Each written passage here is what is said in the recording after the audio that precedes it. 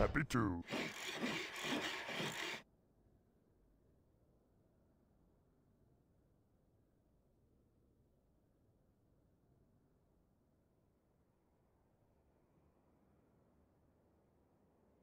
Work complete. I can do that.